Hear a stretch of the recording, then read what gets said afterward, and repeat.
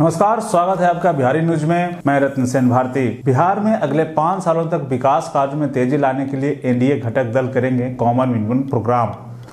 बिहार में नए सरकार के गठन के साथ ही एनडीए के सभी घटक दल मिलकर एक कॉमन मिनिमम प्रोग्राम बनाने की तैयारी शुरू कर दी है। कैसे प्रदेश में विकास के कार्यों में तेज़ी लाई जा सके, जिसमें बीजेपी जदयू हिंदुस्तानी आवाम मोर्चा और वीआईपी के शीर्ष नेतृत्व आपस में बैठकर कॉमन मिनिमम प्रोग्राम पर चर्चा करेंगे।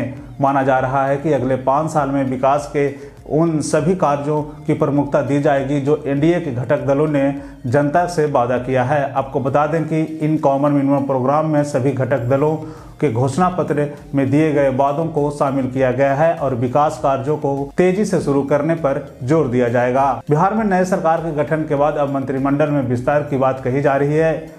इसके लिए यह माना जा रहा है कि एनडीए के सभी घटक दल आपस में मिलकर नए कैबिनेट के विस्तार में मंत्रिमंडल का बंटवारा करेंगे ताकि साथियों के बीच आपसी तालमेल बना रहे और विकास के कार्य ज़्यादा से ज़्यादा हो सके।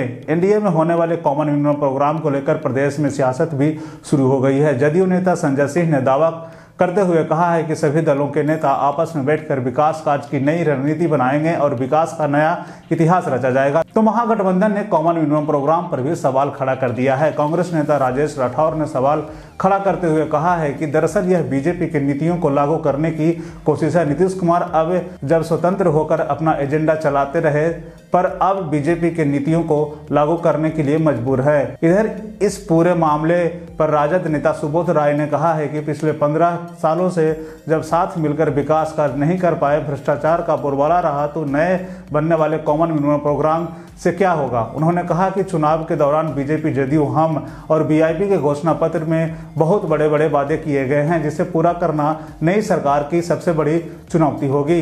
एनडीए के कॉमन मिनिमम प्रोग्राम में इन बिंदुओं पर हो सकती है बात। कॉमन मिनिमम प्रोग्राम में जिन एजेंडों पर ज़ोर दिया जा रहा है, उसमें नीतीश कुमार के साथ निश्चय टू पर मजबूती से काम करने की बात कही जा रही है। इसके साथ ही हर खेत तक पानी पहुँचाने का भी एजेंडा शामिल है। इसके साथ ही हर ज़िले में मेगा स्किल खोलना, युवाओं को रोज़गार के लिए नई तकनीकी शिक्षा देना, इंटर पास करने पर महिलाओं को पच्चीस हज़ार, स्नातक पास करने पर सभी महिलाओं को पचास हज़ार की सहायता देना जैसे एजेंडे शामिल हैं। इन एजेंडों के बाद जिन एजेंडों पर बात होनी है, उनमें सभी गाँवों में सोलर स्ट्रीट लाइट लगाना, बेघर और भूमिहीन लोगों के लिए बहुमंजिला इमारत बनाना तथा सभी जिलों में वृद्धाश्रम की व्यवस्था करना है।